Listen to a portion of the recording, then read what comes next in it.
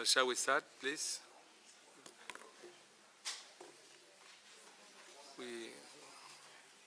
we start a bit early, so we, we can leave early too, I think. Unless there are a lot of questions. Good afternoon, everybody. Uh, excellencies, speakers, and members of the audience. It's a great pleasure for me to moderate this session, this last session of the seminar. Remember to share your comments on photos on Twitter under the hashtag ECOM4DIV. It's, a, it's an, a new word for me. And also invite your colleagues uh, who couldn't join us today to follow us live in YouTube through the channels in the slide. In the next hour, we will be trying, we will hope to explore what payments processors, non-bank financial services, and consumer and SME facing at payment services look for when they are deciding which new markets to invest and operate in. This session will highlight the minimum legal frameworks and trade commitments those, these firms need for regulatory compliance purposes in the home markets and how essential it is for that national regulatory choices foster competitive markets in such services. I'm joined here in the panel by Mrs. Maeve Quigley from Ingenico Payments, where she leads the company's expansion into the commerce into the e-commerce sector. She consults many of the world's leading e-commerce companies on global payments solutions and is a frequent speaker on using payments to scale businesses in new markets. Mr. Gustavo Macó. Macó is Senior Manager of Payments and Fraud from Geo, Go Euro. He has over 10 years of experience in multiple sectors on e of e-commerce, optimizing payments and multi-currency processing strategies while preventing fraud losses. And last but not least is Ms. Mina Mashayekhi, who heads the trade negotiations at UNCTAD. Previously, she led the Division of International Trade at UNCTAD. She has held senior policy-related and leadership positions at the UN and advised developing countries and emerging market leaders on the international trading system, multilateral and regional trade negotiations, and joining WTO as well as on trade policy and services sector policies. Well, now let's start with uh, Maeve I will hand you the floor for your presentation. Thank you very much, Ambassador.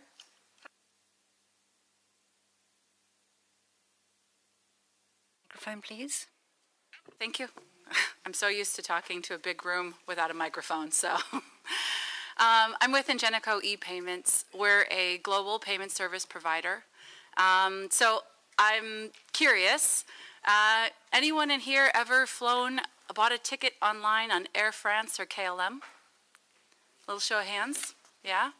Uh, anyone in here paid uh, for Skype using something not a credit card?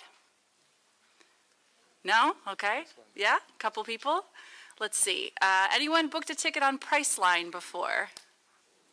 Yeah? Has anyone ever been to the Apple store and bought something? so pretty much, well, I know that Apple, it's a little contentious. Some people are Apple, some people are Android people. Uh, but uh, we are the uh, sole supplier to Apple Store for terminal solutions. Um, and we have a global online payment, processing solution. Um, so what I want to talk with you about is um, how e-payments really serves e-commerce companies to scale. And what I hope that I can achieve uh, by connecting with you today is to help you go back to your countries and advise e-commerce companies on how to, and the ecosystem surrounding e-commerce to be set up for success. So e-commerce companies in your country can grow and scale. Um, so just a quick snapshot of uh, a visualization of our online payment solution. Um, we have, you know, 65,000 customers globally and growing. We operate in 170 countries and in 150 and more currencies. And you see there a kind of snapshot of the payment methods as well that are integrated onto our platform. Just a little idea. And our company exists to help uh, e-commerce companies go further and break boundaries in what is possible.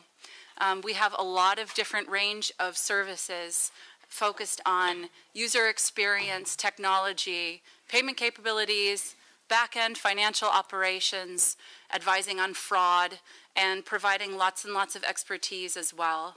Um, this is really kind of the heart and soul of our company is using our data to help e-commerce companies grow. So the three questions I want to tackle together uh, with you all today is um, what's the role of payments in helping e-commerce companies to scale in new markets? How can e-commerce companies be set up for success along each of the stages of their growth? And also, what makes a country more attractive for a PSP like us to expand into? And I hope you all have a lot of questions. I'm high on, I love engagement, so. So um, how does e- e-payments, how do payments help e-commerce companies scale? Um, well, this is actually the key problem that we're working on solving that we see 20% of payment requests aren't completed at the checkout page.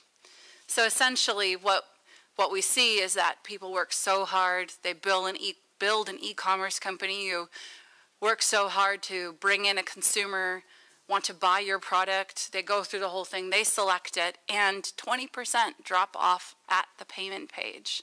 That's a lot of lost revenue. And um, basically what's behind that, what we see, are these are the main reasons that uh, consumers report um, as to why they're dropping off on the payment page. So um, interestingly, um, you can see here that it, it's a combination of user experience factors and availability of the right technology. So um, really, you know, then what's an e-commerce company to do, right? So essentially what our approach is, is we have a um, huge uh, warehouse of data from all of the merchants who process on our platform and we anonymously aggregate this data into business insights. And what we can do is we can see uh, consumer behavior, across the board in different countries around the world, preference for payment methods. We can also see performance on the payment methods, um, how the authorization on those payment methods is, and what are the factors that affect authorization. Because really, why we all care about payments is that it's where the rubber hit the, hits the road for e commerce. It's where companies make money. And so, what we try to do is to help companies figure out the best way that they can make money online. So, this kind of leads to then you get excited, like, great, all right, I'm on board. Well, it's not always that simple because the thing is, is it's not just having a the right payment technology in place. It's also about e-commerce companies themselves being a good partner to the financial network and being in alignment together. So basically, in broad strokes, this is what we see is the uh, the stages of companies growing. So companies start, you know, the first box there, they're small, they have low revenue, they're validating their business model, they're in incubation stage, they're trying to figure things out. And once companies have an established business model, some traction in a core market, usually companies then really are ready to start looking at expanding and growing. So that might be expanding in your national environment, or it might be expanding into new countries and new markets.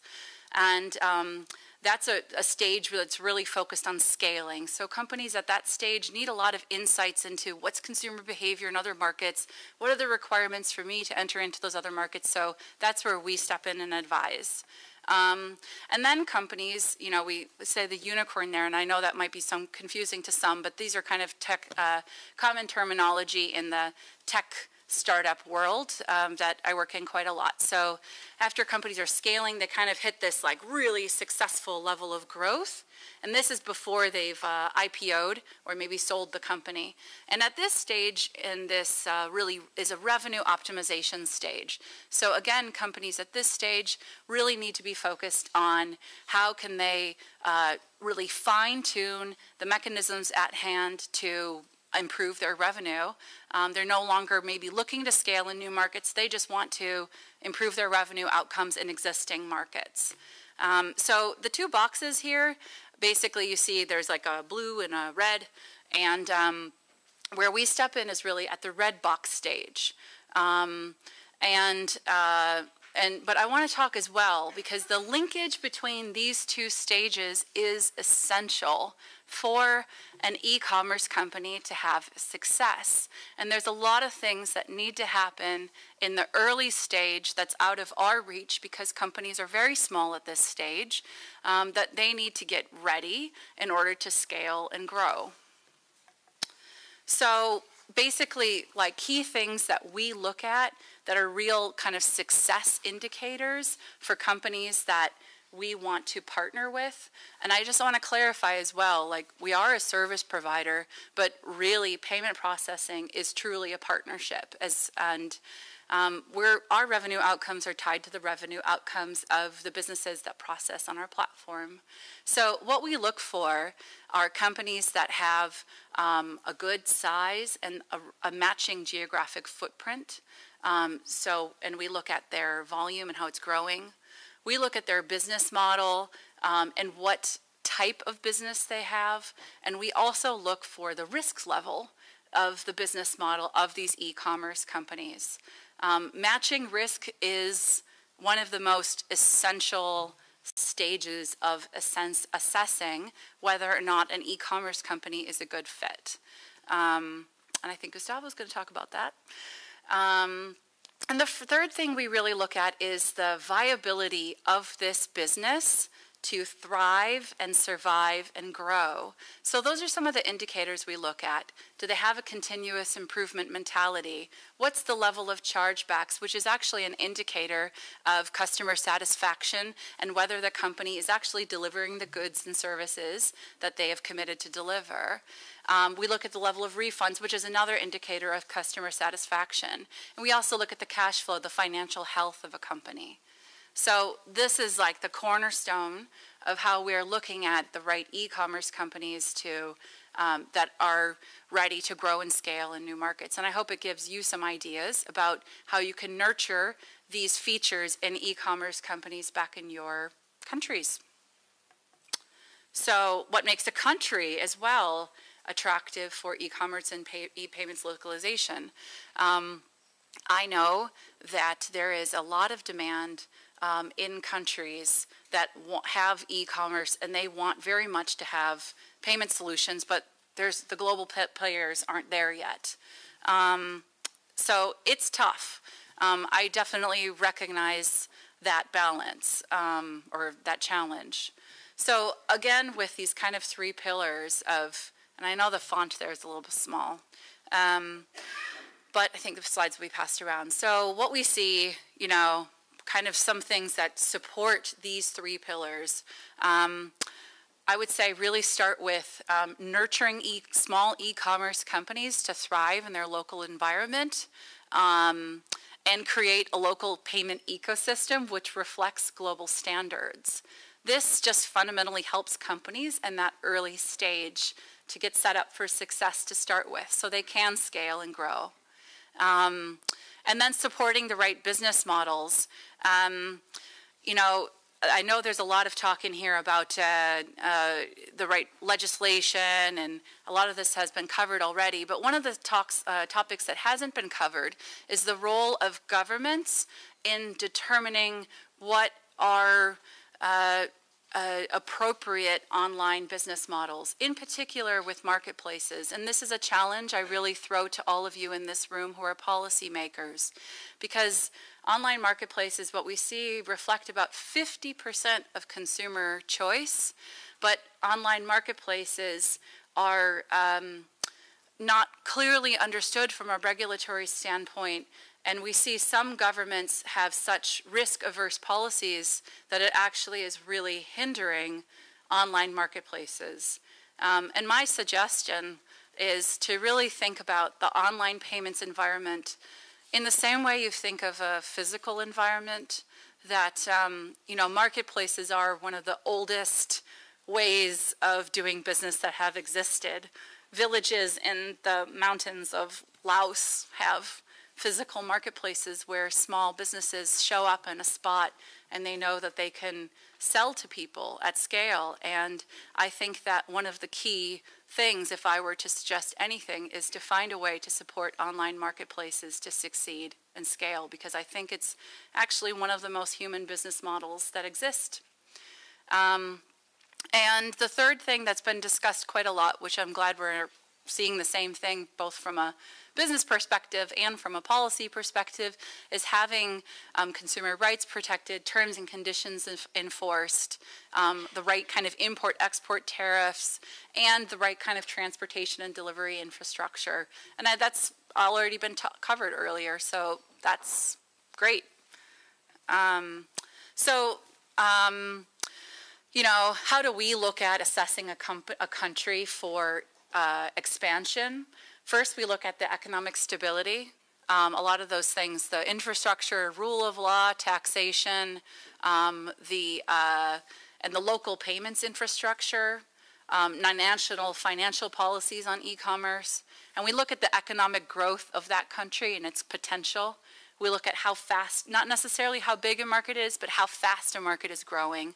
So that is uh, a lot of work can be done at that small local level in order to attract more international financial service providers or payment service providers.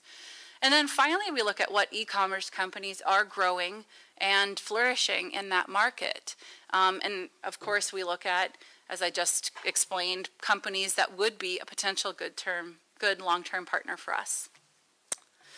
So if you want to learn more about us, little plug, you can check out that link. You can learn a lot about our technology. And um, also, if you want to be in touch, really encourage you to be in touch.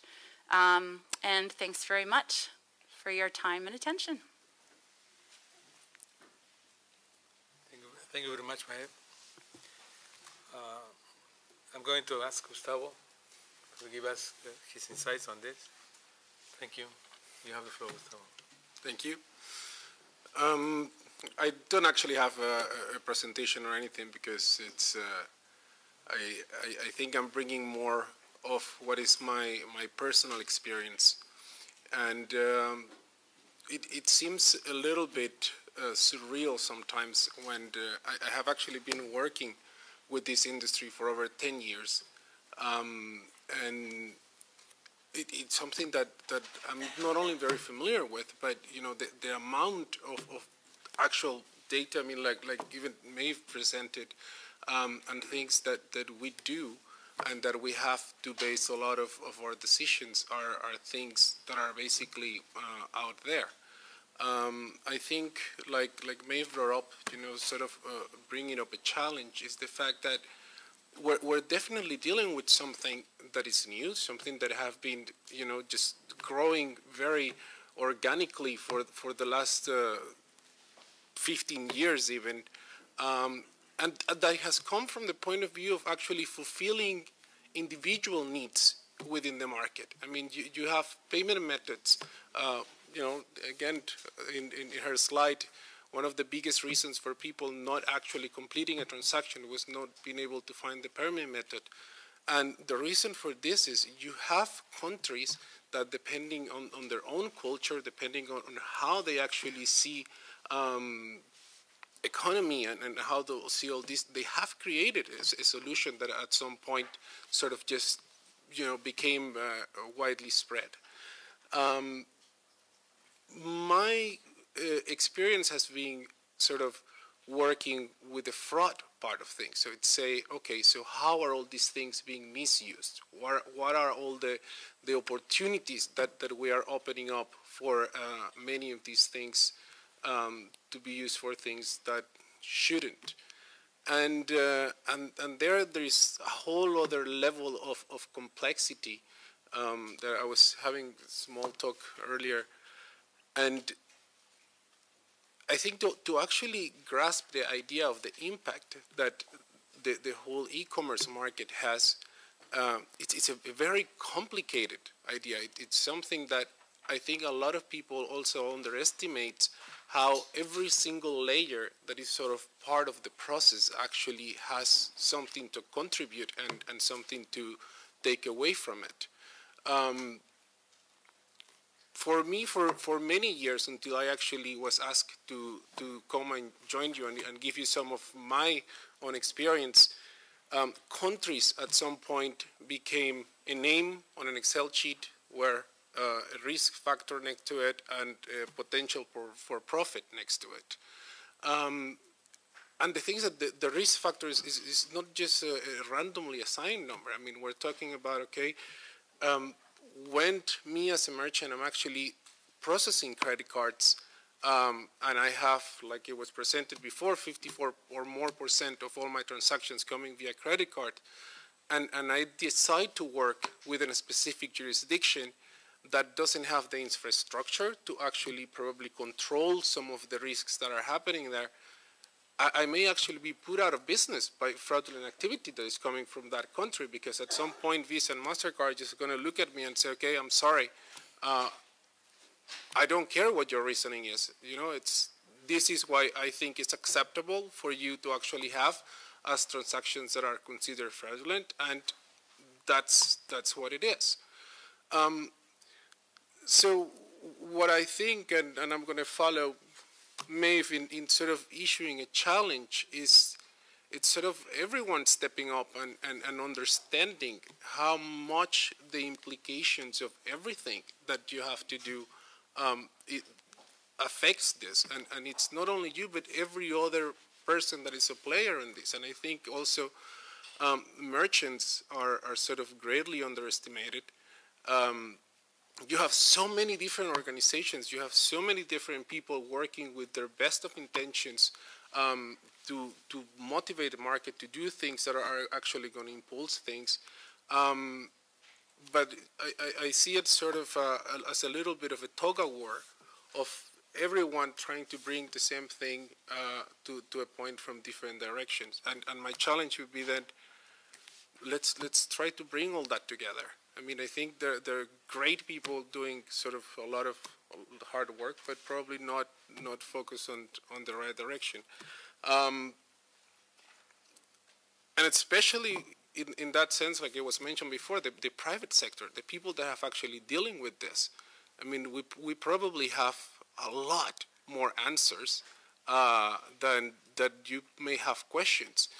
Uh, the problem is that yes, the way that that data is generated is not through a lot of the sort of usual ways of, of recording data. The, the, these are things that probably even are going to take even farther steps uh, to understand.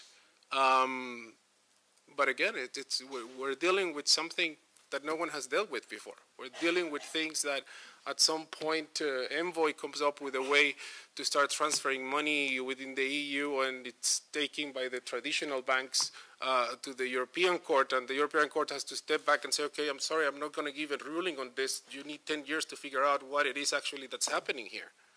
Um, and I, I, think that's the main point. It's, it's a thing of, of collaboration. It's, it's, a thing of everyone understanding uh, their part on their impact on that.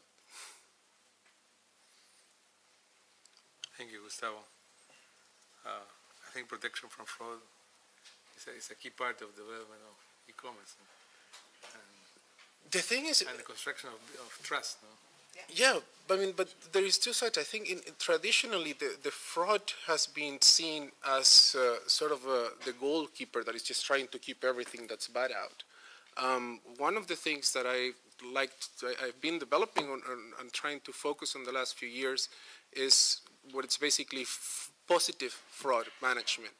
Um, so instead of focusing in who's bad and, and, who I don't want to be part of, or, you know, coming part of, of, of who I'm dealing business with, it's actually okay. Let's not do that. Let's let's see who are the good guys in here. Um, let's see who are the people that I actually want to do business with. And um, one of the the main consequences, especially with Go Euro, where I'm working right now, um, when I talk about acceptance rate, I'm talking about from the total amount of transactions that are submitted, how many do we accept? Uh, and how many do we accept from the transactions that are either declined by the banks that have their own fraud systems and the transactions, sorry, that I decide, okay, these are transactions that I want to, to be able to handle. Um, by sort of changing the focus and actually saying, okay, these are the behaviors that I want, these are the good things that, that I want in my users, um, we have been able to dramatically increase the acceptance rate uh, uh, of Go Euro. We have been able to actually open up to many, many countries that in, in a different way uh, would, have, would have blocked. Um, right now, we're actually processing payments for over 150 countries all over the world, um, where at some point it was kind of limited to just the, the European Union because it was sort of the safest uh, part of the, of the market to, to work with. But I think even within the payments industry, that is part uh, of the evolution. It's at some point, okay, it's not just about keeping the bad people out because that doesn't, that is not effective 100%. It's at some point, okay, let's see, how can I do it the other way around? Thank you very much, Gustavo. I think we need to look at trade rules, specific, which support investment, market access, and competition. And I'd like to pass the floor to Mina, who is an expert on that issue. You have the floor, Mina. Thank you. Thank you very much. Um, I'm coming last, which is very difficult because many of the things that uh, I was going to say have been already uh, talked about. But as it's, uh, I think it's good to go back to basics again and maybe remind ourselves a little bit uh, again of the policy environment and the trade policy environment and also reality uh, of the ground. So um, I just first would just, I, I think DG Azevedo referred to uh, the fact that there are seven goals in the SDGs which talk about uh, financial services uh, in a more focused manner, but 11 of the goals relate to financial services in general. And, and we see that, of course, uh, you know, ending poverty will very much rely on the new technologies and financial services. Ending hunger would, uh, you know, to ensure secure and equal access would uh, involve financial services, including in agriculture sector. Uh, achieving gender equality would very much mean that uh, uh, women would have access to financial services. Again, you know, digital financial services would be relevant here. Economic growth and employment uh, to support productive activities, diversification, structural transformation, we need access uh, to financial services and financial institutions to encourage and expand access to banking, insurance, and financial services. Infrastructure, uh, the linkage between the different sectors uh, uh of infrastructural services, whether it's telecom, uh, financial services, energy, I, um, would all be related to each other and, and would be financial services would be very key in actually building the infrastructures, inter, industrialization and innovation. And, and here, uh, again, universal and affordable access to the internet is mentioned. Uh, goal 10, reduce inequality. Uh, we see that uh, there's need to improve the regulation and the monitoring of global financial markets and institutions, strengthen the implementation of this regulation. And we see that in, in one particular area, it's asked to reduce to less than 3% the transaction costs on migrants' remittances and eliminate remittance corridors with uh, costs higher than 5%. So here, again, uh, you know, financial services, but digital financial services could be very helpful in reducing these costs and, and making sure that these remittances would then be plowed into some investment uh, products that could be helpful in the in the country. So the more also new products are developed by uh, the digital financial services providers would also be helpful in broadening the range of access to financial services and the specific products that of course, uh, in this case, migrants uh, would need. And we know that uh, remittances represent an enormous amount of funds that uh, could be mobilized uh, to, to help uh, diversification and structural transformation, and it's even bigger than ODA. And in terms of means of implementation, we refer, of course, to the trading system and ensuring that we have a fair and universal uh, trading system. Uh, there is also reference to enhancing policy coherence and enhancing the use of uh, ICTs, and of course, in this uh, respect, also uh, the combination of ICT with financial services would be key. So, why policy coherence is key? Because I think also the panelists here, but also all of you have referred to different parts of the puzzle of the jigsaw. But what's important is to bring coherence amongst all the actors, the private, the public, and, and also uh, to ensure uh, a lot of regulators are discussing these different kinds of regulators. So to bring coherence across this and transparency to what each one is doing would be very key. Uh, now we also discussed, uh, you know, the role of financial inclusion, and and we see that what's important is to address the development inequalities of firms in developing countries. Only 34% of firms have a bank loan, 55% in developed countries, and informal firms, 80% of uh, MSMEs are informal firms in uh, developing countries, which uh, face major challenges in financial access. So again, when we are talking about e-commerce, and uh, digital financial services, we have to keep in mind uh, the reality of the situation. And then how other firms, for example, um, uh, what uh, you, uh, we were discussing uh, Ingenico is proposing, how these firms could all scale up and then be able to use the solutions that are proposed by the different uh, actors in the private sector. So here, I think we heard also how the role of government would be very key and the enabling environment. And uh, it would also be uh, very key to have the right uh, data, as we said, to have the right policies, to also uh, ensure that uh, you know business would be able to operate uh, and they could also access data to, to be able to operate in these markets. Um, the financial inclusion, of course, needs to consider trade in financial services. Cross-border exports in financial services reached around 540 billion in 2015 with an annual growth rate of 7%. And we see, of course, that developed economies account for 84% of the global exports but exports of developing countries are growing faster. So again, in the ecosystem of trade, we have to, uh, you know, see, uh, note that developed economies are the ones that are very much global exporters here. And of course, there is growth in uh, developing countries, but there's a lot of heterogeneity, and some countries are more successful than others. And, and we, of course, heard the experience of Kenya, which is very successful in this respect, the financial services through uh, the digital um, means. But uh, we also heard how everything is in place for Pakistan to take off but there are some uh, major ecosystem issues that have to be dealt with. Uh, for example, when we heard that only there are uh, only 11,000 ATMs uh, in in, um, in, Pakistan, so we see uh, a lot of um, uh, bottlenecks that have to be dealt with in this respect. Now, also we heard about inequality. Uh, so this financial exclusion, we have to also be aware that 83.3% of total wealth is concentrated on 8.4% of the world population. And, and so those who have uh, um, in terms of inequality would have less health, uh, wealth would uh, of course not be able to uh, use all the opportunities that are uh, out there. So financial exclusion is a major problem. Uh, but the underprivileged form a group with potential to attract uh, innovative financial services and products to benefit from them. And they represent about 40 trillion in terms of wealth, so collectively. And this, of course, would mean that um, you know they, they have a potential to attract innovative financial services.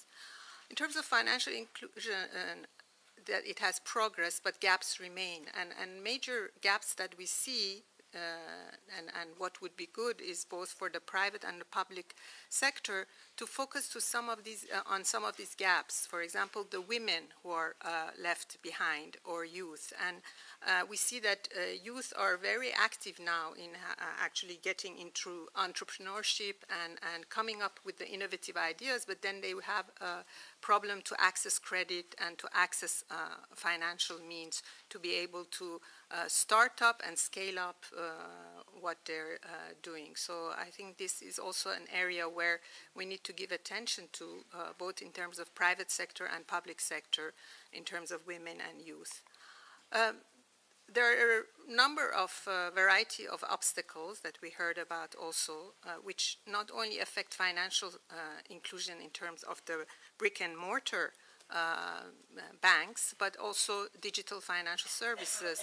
Uh, why, uh, you know, why use of financial services has been limited, lack of disposable money, exclusion from physical, economic, administrative and psychological barriers. We also heard, like, you know, if, the, if uh, people have to, at the end, go to, uh, you know, a, a, bank or uh, distances are far, and uh, sometimes even though they're using some kind of digital product, they still need to uh, produce the cash in, in, in, paper format. So all, all of um, all of this uh, would be very much obstacles not only to the uh, traditional financial services, but also, uh, you know, digital financial services. So, uh, as all, uh, I think everybody here has said, uh, digital financial services would be very key. It has positive externalities. It incentivizes use of banking services by establishing linkages. Information on mobile money usage may help credit scoring. Um, it is uh, more gender neutral and youth friendly, uh, allows for sectoral development, but and we see that its cost uh, is uh, much less in terms of the infrastructure.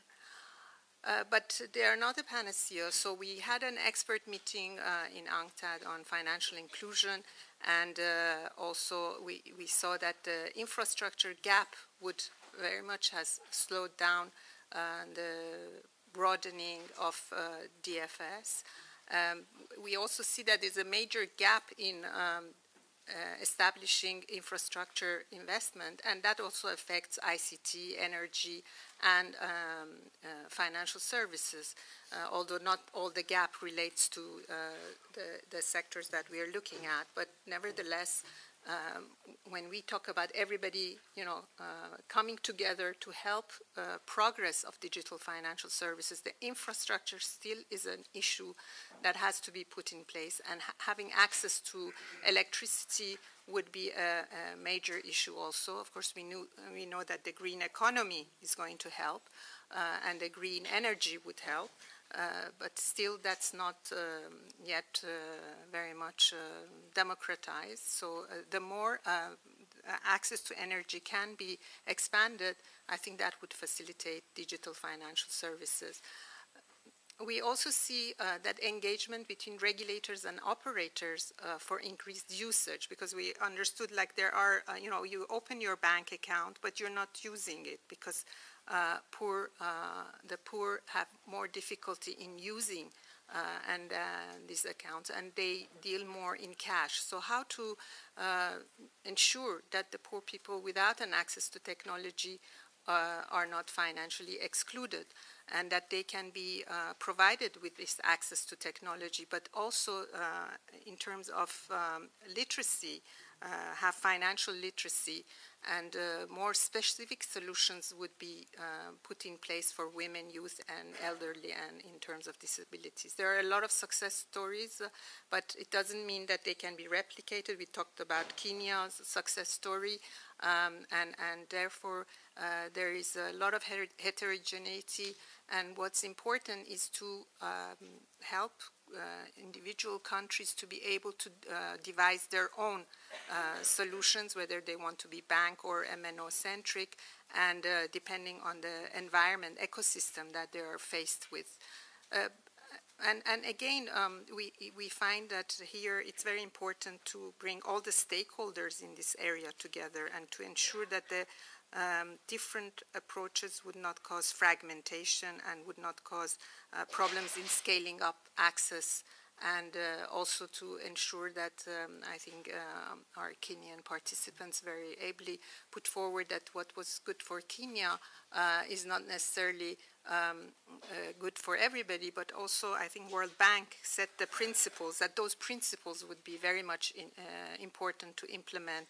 And to implement those, of course, there is the need for establishing the infrastructure, establishing the technology, building awareness, advocacy, and education. Um, there is, of course, risk of fragmentation of standards, and, and that would be very important for the operators to ensure that uh, uh, standards do not become barriers uh, also for developing country operators. So some of this is very specific in terms of how you can remove, you know, uh, ch remaining challenges, for example, to bulk payment, because this morning we discussed that maybe when you're, uh, you know, um, kind of uh, forced to use certain types of services, you will start, you know, uh, moving into this uh, uh environment of digital financial services in a uh, more easy manner.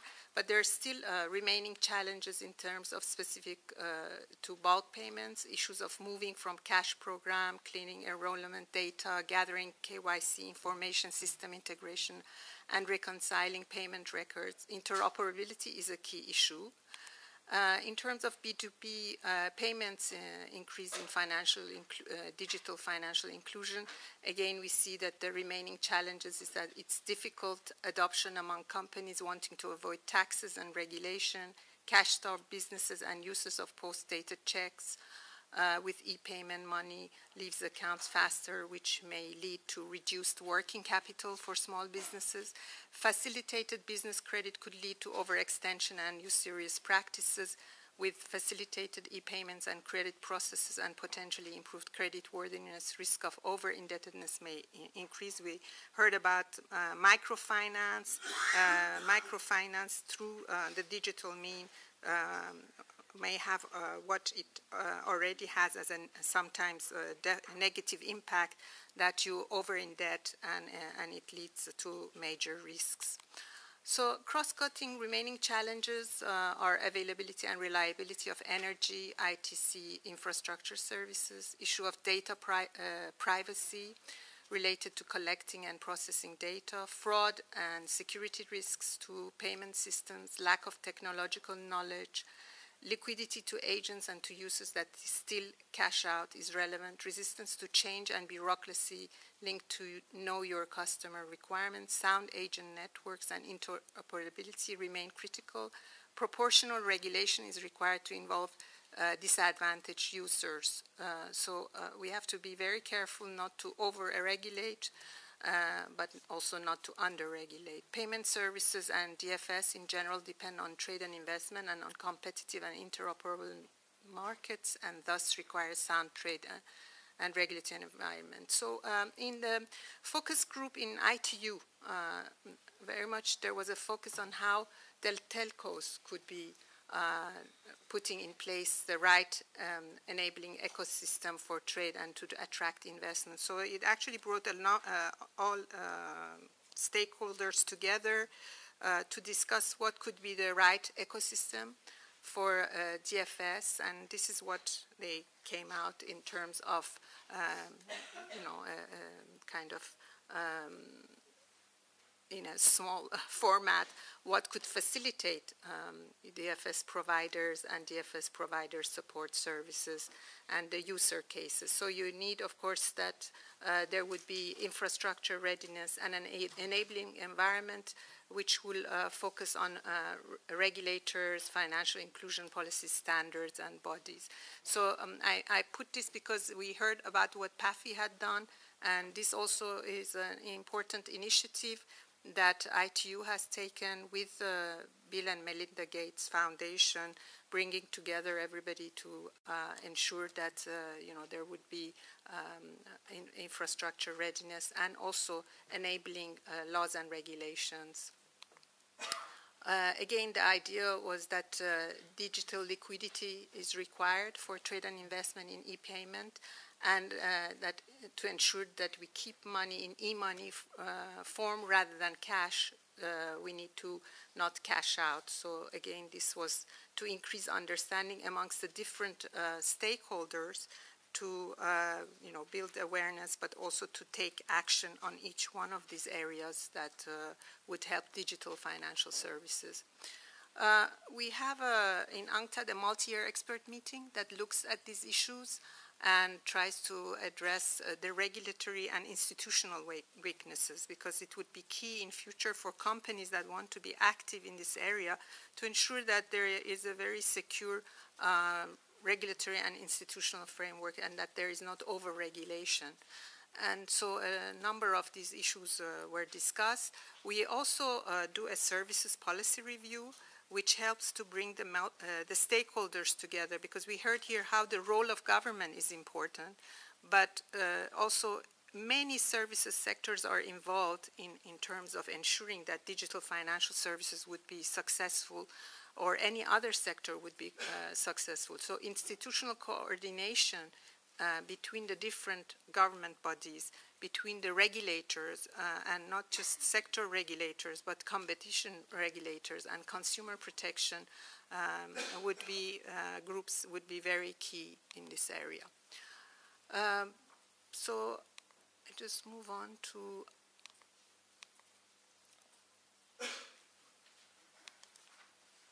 main recommendations to policymakers by the ITU focus group support an open ecosystem for DFS that promotes innovation and competition, should have accurate and timely information on direct and indirect price consumer pay to access DFS, encourage merchants and other payment acceptors to accept e-payments, encourage and identity systems to help account uh, opening e-payments and security. Public support to DFS is necessary and leverage existing infrastructure and capabilities to avoid duplication of costs, including using postal networks to support the DFS ecosystem. Now, in terms of trade and trade policy, of course, we know that services to a large extent uh, covers this area. So making commitments in this area, um, uh, services, uh, GATS framework can very much facilitate making um, DFS-related commitments. Uh, we also see in the regional uh, integration agreements that they have gone deeper in terms of making commitments that would facilitate digital financial services. So as uh, we hear often, there's a lot of water still in terms of uh, removing barriers in, in the um, con context of GATS framework on financial services or on telecommunication and other sectors related to DFS.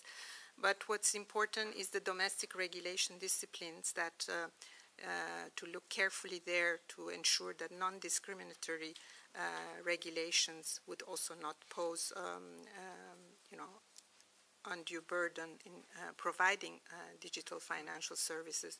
But what's important also is that, you know, not all countries are ready to take this kind of commitments to support, uh, you know, deeper um, um, commitments in this respect because they don't have the right regulatory framework still in place. So helping them to set the right regulatory framework and also helping the nascent sectors that and, and um, uh, those involved in digital financial services in developing countries, I think it would provide a comfort zone to go ahead and, and um, you know, be more proactive in, in, um, in this uh, market, but also open it up and liberalize it. Thank you very much. Thank you, Mina, for a very complete pres presentation. We have discussed uh, challenges that the private sector is facing and also challenges from the public sector, uh, like formulating digital policy or, or e-commerce policy uh, from the trade from a trade angle. Uh, now let's open the floor and, and hear what you have to say from, from the floor. The panelists are very keen to, to listen to that. Thank you. I, I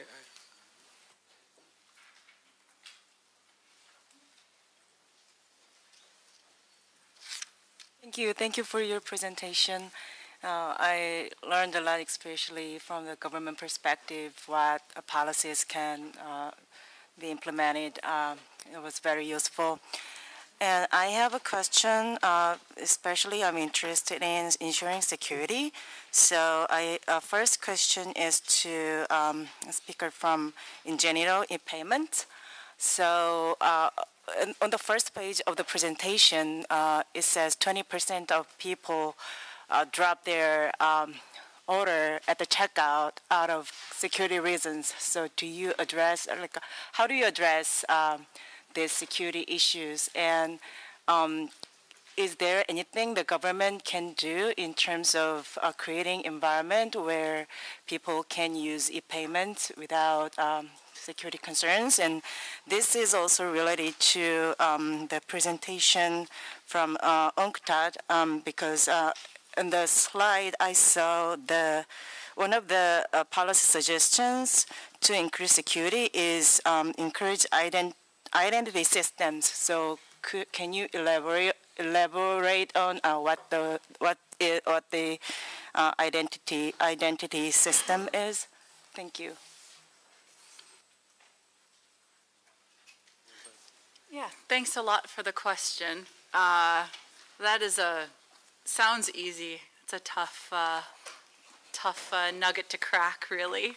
Um, so I wish we could pull it up. Have Have any of you ever been to a payment page where you just think, "Ugh, this looks weird. I don't want to pay." Yeah, that's what we're talking about with the security issues. When you don't trust it, when you just have a bad feeling, and there's a lot of that actually goes under the big bucket for the customer online, what we call kind of user experience. So um, basically, there's a lot of things in that user experience that do create trust. Um, and we focus a lot on that. And it, it, um, it has a lot to do with the design, the layout of the payment page, whether there's a big redirect on the payment page. You click to pay. Does it take you to a whole other website? and then you're like, ooh, what am I paying for? So that's a lot of the user experience. Now, what creates that user experience has to do with uh, the technology of the payment service provider or the, the, or the gateway, and it also has to do with the technology of the payment method. Okay, so for um, for credit cards and debit cards, they are processed through acquiring banks. So there's a whole set of technology there. Um, you know, e-wallets or other local payment methods, everything has its own user experience. Are there any Dutch in the room? No? Oh, wow, I'm surprised. Okay. the Dutch have a very particular local one. Has anyone used Sofort? Anyone use Sofort as a payment method? No. Okay. Just throwing some out there. PayPal. Some people have used PayPal. Yeah. So PayPal is a different environment where you make the payment, right? So all of that, that environment where you make the payment, that creates trust. Now, how can governments support creating a more high trust environment? That's really tricky. Um, so I would say that really, you know, again, where I was had that slide about the stages of business growth and really suggesting the local areas of focus that would be the most impactful is focusing on the, the startup phase, the local phase. So for companies that are in your country where they're connecting to a payments network, I would look at what are the options, what's the user experience these companies have as options that relate to that payments network. And I would just reach out, if I were in the shoes of the government, I would reach out to those um, payment methods, the technical gateways, and ask them what help they need to increase the, the experience. I, I can't tell you specifically, but it's always worth having a conversation. Yeah. Um, I think from the point of view of an actual merchant, I mean, what you're talking about is something that is a lot more in control of the person that is actually sort of presenting what what you see on it. Um, like for example, when we talked earlier about numbers and we were talking about e-wallets sort of growing as a share of the market, they may not be growing necessarily because they uh, they are actually um, people are trying to keep the money electronically It's just because it becomes something familiar. It becomes a way where the person says, okay, I don't trust you to give you my credit card details. I don't trust you to give me the, all of this information. However, I do have the, this extra layer here that is actually going to allow me to do that. Uh, I think from the point of view of, uh, sorry?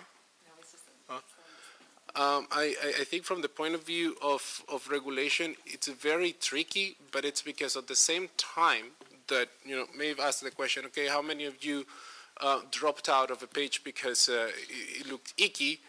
So how many of you dropped out of it just because you couldn't figure it out? You know, by the time that you get there and uh, you have to enter this here, you have to enter it there, and after you have clicked God only know how many things, you go like, okay, uh, how does it become relevant? So even from the point of view of the merchant, and, and this is one of the things when I was talking about of, of everyone having to have an input into this, as important as it is for, for the person that is sitting on the one side of this to have the, the, the feeling that is actually secure, from the point of view of the merchant, it is very important that it's something that is actually simple enough that people would actually engage and, and use.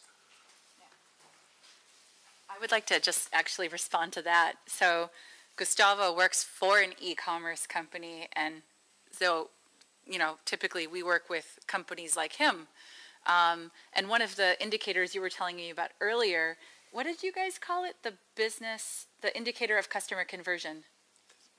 Um, PCR, I mean, basically out of the people that land on the, the booking page, on the people that land on the on the booking page, the amount of people that actually complete a transaction. Right. And so companies and e-payment providers, we're constantly working to improve customer conversion. Um, and, you know, actually, it's interesting because one of the things I was just thinking, how can governments help? Well, honestly, having a very competitive landscape for payments drives everyone to do better. So, how governments can help is creating a flourishing e payments landscape in your country, which drives innovation, I would say. Anyway.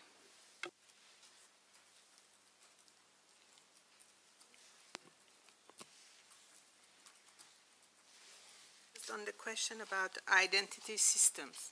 So uh, it's just identity systems that are capable of identifying end users and their providers, uh, authentication systems capable of recognizing and validating their identity. So it can be national IDs, sectorial IDs, uh, private sector IDs, uh, you know, like WeChat or PayPal identifiers. The sectorial IDs would be bank account numbers, mobile phone numbers, and um, some national IDs in particular are biometrical, so that would help also. Biometric. Enabled, yes, biometrical enabled.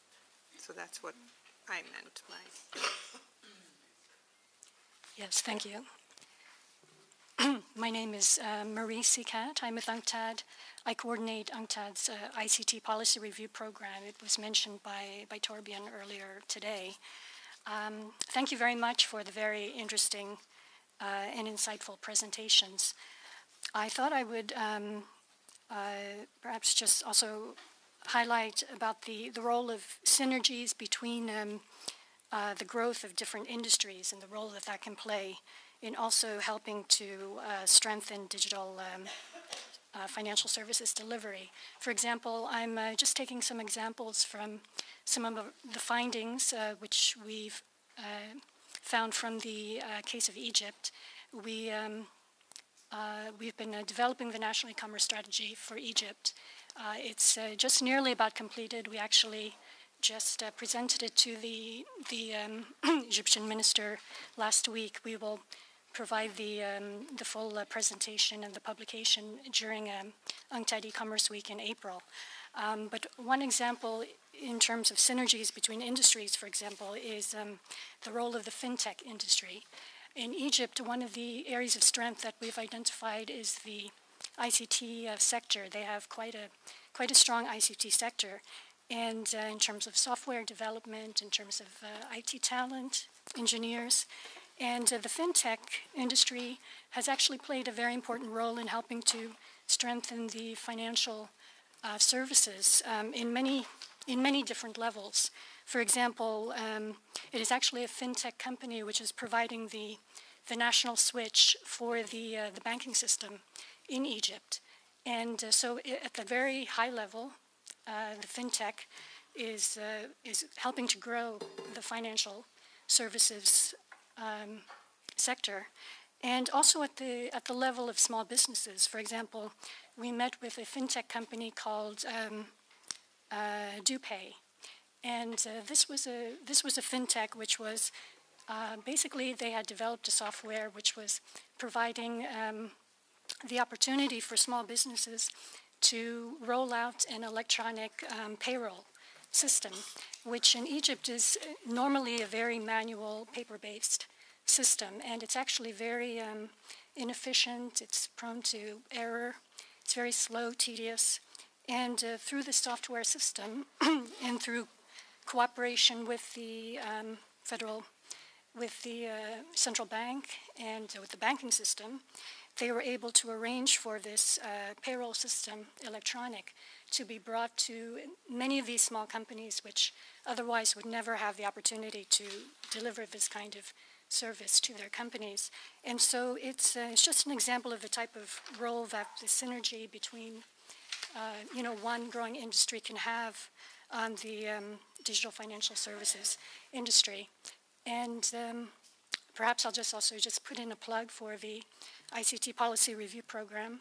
It's, uh, it's a program which um, our work is primarily based on a, um, it's a, uh, we use a integrated diagnostic tool uh, which um, examines how to strengthen e-commerce in a country on the basis of eight major areas. Some of these are very similar to some of the ones which were mentioned just now. Um, it's ICT infrastructure, uh, logistics, payment services, uh, we also look at, uh, of course, legal and regulatory. There's also the um, electronic platforms, whether they exist or not, and uh, what type of diversity uh, exists in terms of platforms.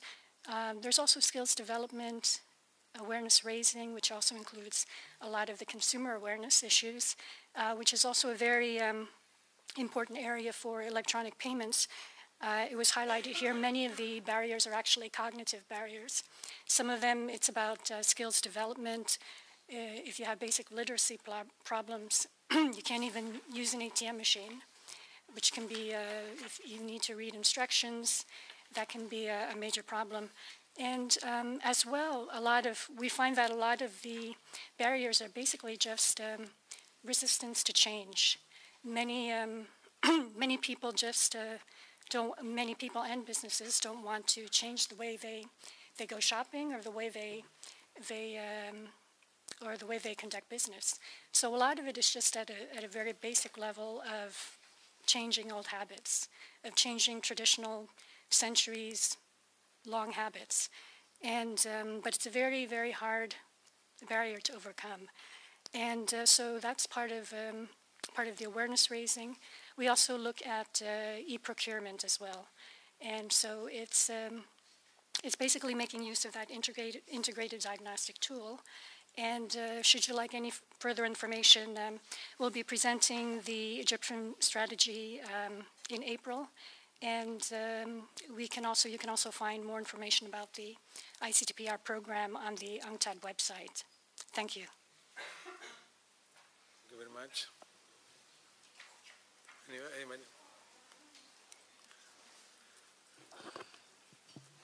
Gracias, presidente. Thank you, Chairman. Ms. Mina Mashayekhi made reference to the fragmentation of standards amongst the various operators. Here it is quite clear that we have uh, the ITU's role, WIPO's role, and other organizers of this conference, such as WTO and UNCTAD, they have spoken of the need for cooperation between regulators and operators in various countries, and also the necessary cooperation amongst organizations organizing discussions on this. I think, do you think also we need more cooperation in this realm? Thank you. You think, uh, sorry, your last thing was, do, do I think you need cooperation in this? Uh... This field, in this field or in this realm, realm or field, more cooperation amongst the bodies tackling these subjects, the ones I mentioned, such as um, uh, WTO, UNCTAD, etc., WIPO. Yes, definitely. I mean, that's what the point I'm raising, that uh, you know, for example, of course, many of the actors that were in PAFI were also like in the ITU focus group I was mentioning, and also private sector, MasterCard, Ericsson, all the major players were there, and the idea was to bring some, you know, understanding amongst all of them, the countries at different levels of development, the standard setting agencies, the agencies that work on development, the, the agencies, uh, and it included also World Bank and everything. So there is already a lot of cooperation and, and coming together. But I think to, to as this whole uh, business is going to scale up, and as so much data and information in, in enormous amounts is going to be exchanged, and, and and you want to take decisions based on evidence and transparency, you need even to scale up the cooperation, but with coherence, because you can cooperate but still do each go your own way. But to bring coherence and, and uh, really ensure that all players know the impact of what they're going to do, which is difficult because, like uh, I think it was mentioned, that you know you do certain things, then the European Court is faced with something that I mean do the regulators, can they regulate such a market actually? Do they have the skills of the future? Uh, so there is a whole questioning about what institutions you need in future, what business models you need in future. Even the firm themselves, I mean, like large firms are saying, you know, the life of each firm is becoming shorter and shorter. There, you have some MNEs that are living a long time, let's say Nestle and those traditional ones, and the rest are just living maybe four, five years, ten years. So how do you work in such an environment, changing environment, needs a lot of coherence and a lot of cooperation. That's why I mentioned again the, the you know, the, uh, the goals SDGs, because what is interesting about SDGs that is that more and more of the private sector firms refer to it. So they, you know, these objectives are the development objectives. So you, then you have to bring it together with private sector objectives, bring it together with institution building because role of government matters the institution building. You bring it together with you know that uh, all countries want development so poor people want access to uh, all these very good things and um, they want uh, things to adapt to their needs savings uh, you know all the innovative things to come up so they can also use they have savings but they want to be sure what they put in is sure. They're not going to fail you know so uh, making sure that those businesses won't fail. So it's all, you know, quite a very complex uh, area. So definitely we need to all cooperate more, but cooperate more with coherence, not duplicate.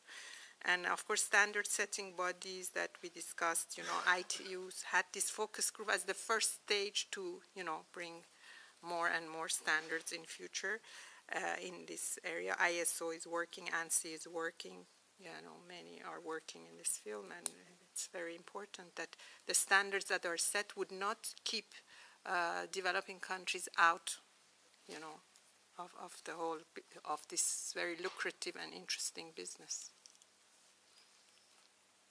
Thank you very much. Anybody? Please. Thank you, Ambassador, and thanks to uh, the panelists for this very interesting presentation. Uh, please, uh, a quick question, on that's specific domain, and that is in relation to the role of government. On the one hand, government should not over-regulate, and at the same time, government should not under-regulate. Uh, what is the right balance or mix, particularly in relation to the role of government, and also in relation to the commitment that government might have given of undertaking, particularly in relation to GATT commitment, and how would that play out in terms of creating an employee environment for business to thrive? Thank you. Well, it's very difficult to answer that question, but what I would say is that, you know, the right balance would only, you can only get the right balance if you have all the stakeholders involved, you know. So government on its own cannot regulate just taking one set of interests in mind. It has to take all set of interests, you know, let's say uh, the underserved interest in mind, the local companies, the foreign companies' uh, interest uh, in the sense that you want to import, you know, certain things, uh, certain digital, for example, financial services. So you need to also those who who you are potentially interested to import from to see what barriers could be that could be negative towards that. So I think it's important to have a balanced vision about that, and, and universal access uh, is very key uh, for firms and also for people.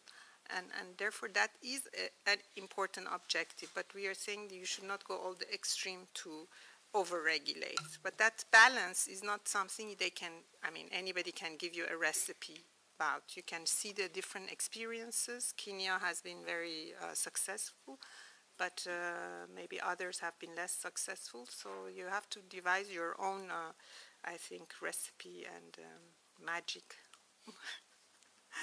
Thank you. Thank you very much.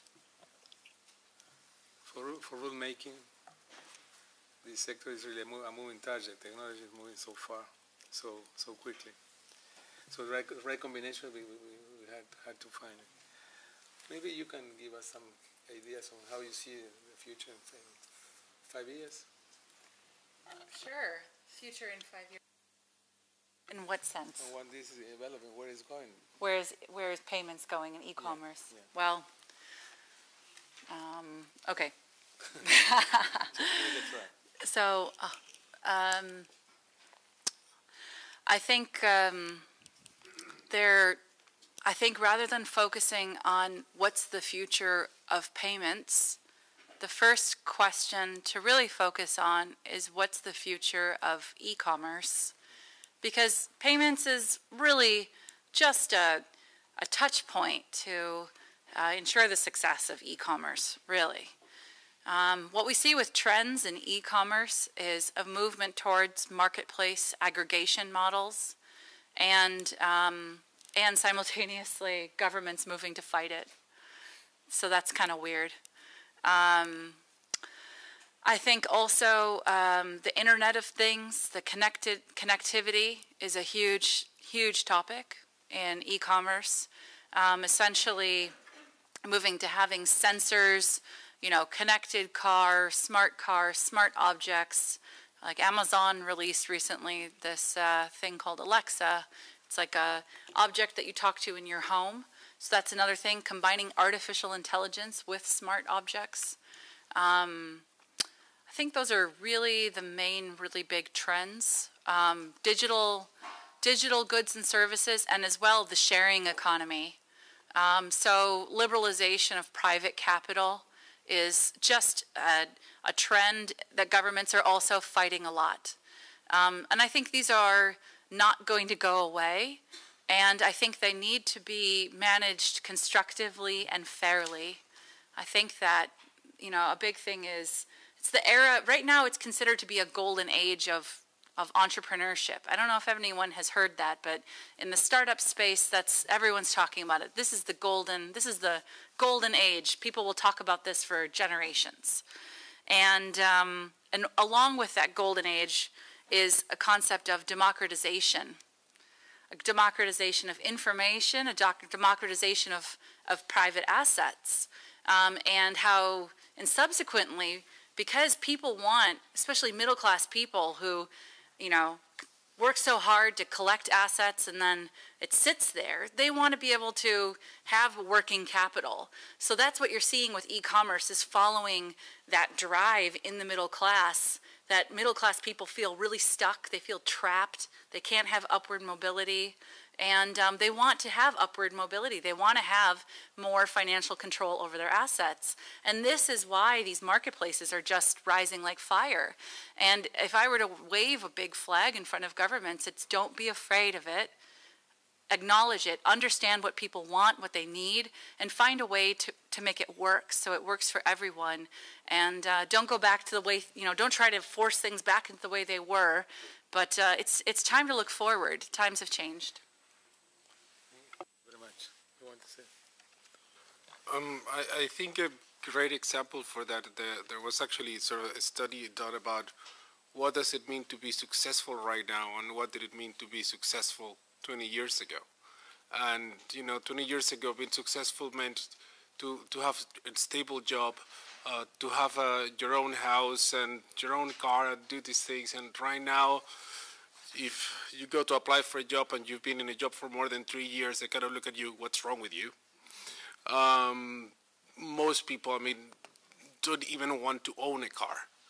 Um, so I think what, what we're looking is at something that for many years we've been talking about globalization, globalization, and, sort of things becoming uh, more and more standardized for everyone. And I think what it's actually going to happen, it's a, an exponential reversed process where everyone, like when we're talking from payment methods, when we're talking from products for everything, there is so much out there. There is so many people working in different things that you know it's getting to the point that everyone wants what they want and they want it their own way, and and we're basically getting to the point where that's going to be possible. So I, I think we're, we we went to the macro now. It's going to start going just to to the individual.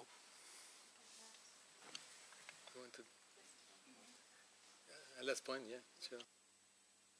I just wanted to say that with all this disruptive technology, which brings all these good things that uh, were mentioned, um, of course, you know, some people think uh, if you have a job for three years, what's wrong with you? Uh, but at the same time, many people are worried about uh, robotization and artificial intelligence that actually you may not have any job. So I, I, mean, all of these is the trends of future that uh, cause a lot of uncertainty, and for maybe for young people, it's still very um, the way you are saying, but maybe for uh, middle-aged people, and is also that are we going to have a job, or are we going to have a pension? So I hope that technology and innovation would come up with new ideas to also help there with unemployment. And uh, when you pass to robotics, I know that uh, Silicon Valley people are thinking, okay, we can give uh, minimum um, uh, salaries to everybody. So then, okay, if we all have good minimum salaries, we stay at home, we do the nice things we want to do, and we consume, and we feel very free. That's great. But I, I just say that this uh, also has very complex. Um, I, I, I think, you know, sort of comparing generations, you know, I, I, consider myself what they're calling like the Generation X in between the, the baby boomers and now the millennials. And uh, it, it's very interesting to sort of have one foot in, in each side of the of the river. And the thing is, as much as you're talking about, you know, an, an older generation being worried about, you know, am I going to have a job, this and that. I mean, you have 12, 13 year olds with Twitter accounts and with Instagrams and whatever actually getting paid for for you know putting pictures forward and and whatever it is. Um, so we're talking about going from one extreme of actually thinking that money and all of these things actually had to be earned and, and you had to work hard and have an education where it just becomes as much as an instant satisfaction as a like. It's like okay, that equals money. It's, it's, it's that simple. So I think it gets even scarier. well, thank you very much. I'd like to. You, you want, please. Merci beaucoup, Monsieur l'Ambassadeur. Je... Thank you very much, Mr. Ambassador. I thank the panelists. I should like to say that I share the viewpoints developed by Ms. Mina of UNCTAD concerning certain aspects, particularly in the digital area, and also the statement she made towards the end of her presentation, saying that regulations should not leave small economies from their field of activity out in terms of the digital economy and e-commerce. That is true, but it is more difficult to do than to say. So I would like to ask this question of the panelists. I'd like to ask this question of each of them.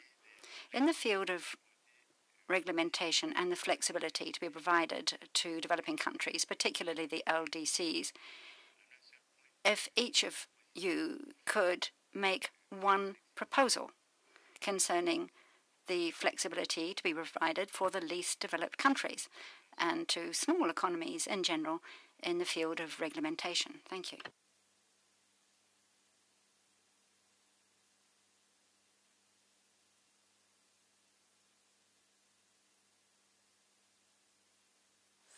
Um, you know, the, the one thing I'll, I'll have to say about what would I recommend, look around. Like I said before, PayPal, Facebook, uh, so forth. I mean, most of the multi-million, billion companies that are sitting out there providing all of these services and, and changing the world, they started in a garage. They started by just simply looking into a need and providing a solution for that.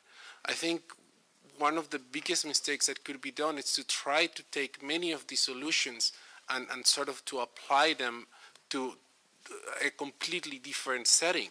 Um, so I would say probably the, the, the, the best uh, advice would be use your young people, use, use the people that it's actually sort of going to drive this, you know, make them part of the process. Um, I, I, don't think this is something that it could be found a traditional solution to, to it. it it's, it's, something that it, for each individual has to be as unique to their own condition, their needs, their, their, their structures, and, and, and everything as it is for everyone else.